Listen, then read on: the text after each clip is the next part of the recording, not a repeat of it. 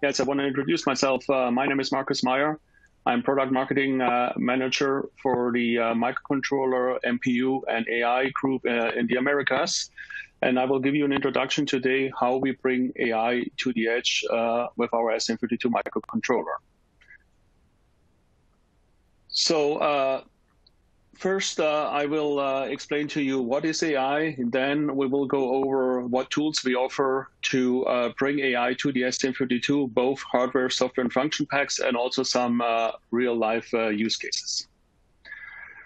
Now, uh, let's have a look at the result of the poll. And it seems that most of you have a basic understanding. we have very few experts, and then some people who nothing or, or very little. So that gives me really a nice uh, track into our next uh, first uh, topic, which is what is AI? This is the big question. Currently, there's a lot of talk about AI, but also a lot of confusion. Let's clear some of it up. Some definitions you might hear frequently are artificial intelligence, machine learning, and deep learning. AI is, very, um, is a very broad term. You can use it for any technique that enables computers to mimic human behavior. Machine learning is a subset of AI. It refers to, uh, to the algorithms and methodologies that improve over time through learning from data. And deep learning is a subset of machine learning. Normally, the deep learning algorithms use multiple layers that mimic the neural network of the human brain. The term artificial intelligence was first created in the 1950s. And uh, the study of AI has gone up and down during the, last decades. Now we are in the most recent AI wave. This wave is not only a result of more advanced hardware and algorithms, but most important, it is big data. Data is the cornerstone of AI. The more data you have, the better the performance you will achieve. Probably all of you heard uh, about AI in one way or the other, and it is already used very widely in our daily life to improve or make certain tasks even possible. Some examples are face or voice recognition, autonomous driving, predictive maintenance, anomaly detection, medical dia diagnosis, disease detection or prevention, handwriting recognition, credit fraud detection, translation engines, shopping suggestions, and a lot of others as you can see, AI is already playing a big role in our daily lives. So what these examples have in common is that most or not all of the computation happens in the cloud. But we are currently seeing a trend of it moving from the cloud to the edge. But what exactly does it mean and why is it done?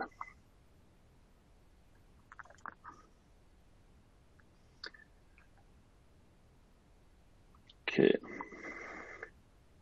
As mentioned before, a lot of the AI uh, activity happens in the cloud. The way it works is we use sensors to collect data, then transfer them to the cloud via gateways, and do the heavy lifting, such as running neural networks, there where there's almost unlimited computing power. Then the results, decisions, or actions are pushed back to the endpoint, also called the edge device. There are several issues with this approach. It requires a constant internet connection a lot of bandwidth, which might be an issue with some applications with limited bandwidth, such as LoRa, or no internet connection at all.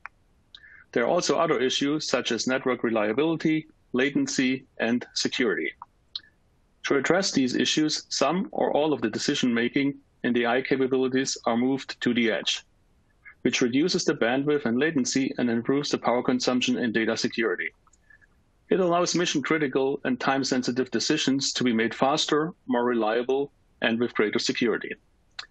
One good example of a distributed AI approach are voice assistants, such as Alexa or Siri. The detection of the trigger word, for example, Alexa, on the edge device.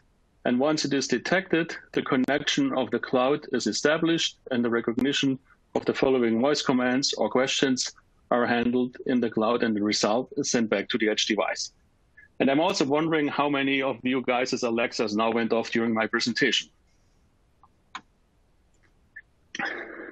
So now, how does ST fit into this?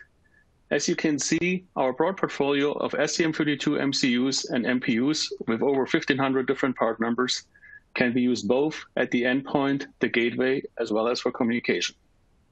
Also, sensors and actuators and other ST parts are a good match for a broad range of edge applications which require AI capabilities.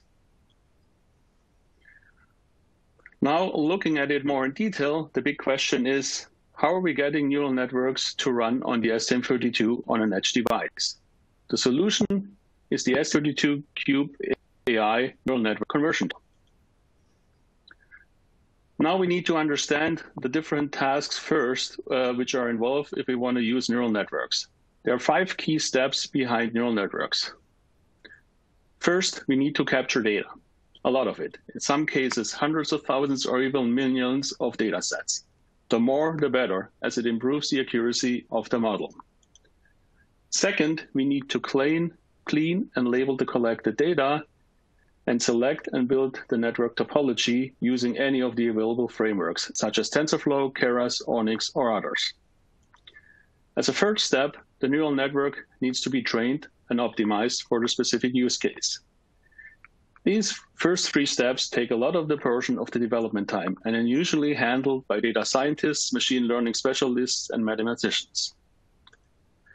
With step number four, we are diving back into the STM32 world we import the trained neural network model into the STM32 Cube AI tool, where it is analyzed and uh, optimized, and then converted into optimized code for the STM32. And finally, in step number five, we run the generated neural network code, also called inference, on the STM32 MCU or MPU. Here are a few more details about the last three steps of the process. As mentioned before, we support the output files of many popular neural network frameworks such as Caffe, Keras, TensorFlow Lite, PyTorch, and ONNX, which means any framework that can be exported to ONNX, uh, to the ONNX open format, is supported. We are continuously adding and updating more frameworks. The STM32 Cube AI imports and analyzes the models, and based on the output, offers a selection of different possible part numbers thanks to the built-in product selector. It also offers several optimization and compression capabilities to reduce and optimize the memory footprint. In addition to the STM32 Cube AI, we offer an extensive toolbox and ecosystem for AI applications. It includes software examples, so-called function packs, for ST development hardware. The STM32 community with a dedicated AI channel, trainings, hands-on uh, videos, and MOOCs. It is rounded up by the dedicated AI partner program to provide engineering and design services specifically for machine learning or deep learning. Our partners here are companies with a specific expertise in the area of neural networks and machine learning, and they play a critical role here. This is especially important when you don't have a deep knowledge of AI, neural networks, or data science. Those partners can assist with their specific expertise. Now I want to give you a brief overview of our function packs, which are the software examples and the supported ST developments. The four main examples we're offering are audio scene classification, human activity recognition, which are both included in the FP AI Sen Sensing 1 package. Food recognition is part of the FP AI Vision 1 package, and the X-Linux AICV package supports image and object classification on the STM32 MP1 MCU. The audio scene classification is an audio example of the AI Sensing 1 package, which can classify three scenes using a microphone. It's indoor, outdoor, and in-vehicle. In the same FP AI Sensing 1 package, there's also a motion example, the human activity recognition that can recognize five different motion activities using a motion MEMS sensor.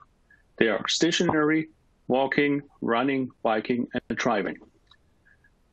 This function pack supports several different ST boards. For example, the SensorTile board with the STM32L4 low power MCU, the BlueNRG BLE radio, pressure sensor, accelerometer, gyroscope, magnetometer.